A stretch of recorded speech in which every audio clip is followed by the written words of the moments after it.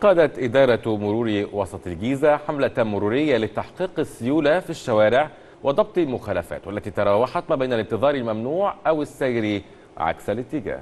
الحملات آه، يعني إحنا بنعيد تذكرة الشارع المصري هو شارع ملتزم أصلا إحنا بنعيد التذكرة فقط بقانون المرور. يعني إحنا دلوقتي بن- بن- بنحاول نرجع الحزام ربط الحزام أثناء السير عدم التحدث في المحمول أثناء القيادة آه، بالنسبة لانتظار الصف الثاني ده المشكلة الكبيرة. ولو- والوعي بالنسبة للمواطن الصف الثاني هتفرق معانا جدا. لو إحنا قلنا الشارع ثلاث حارات وحضرتك ركنتي صف تاني يبقى انت الشارع كده بقى الشغال فيه حارتين فقط. والحارتين دول لو اشتغلوا اللي هيركن وراكي هيضطر يزنوا على العربيتين التانيين. إحنا ال- ال- الحاجة الوحيدة بتؤرق ضابط المرور اللي هو الصف الثاني. الصف الثاني ده بيعمل عندنا مشاكل كتير جدا بيعمل كثافات في الحركة المرورية بيعمل تكدسات في الحركة المرورية. آه، طبعا في عربيات كتير آه، منتهية الضريبة بتاعتها. بيتم سحب التراخيص. بنحد من المخالفات المرورية في الشارع.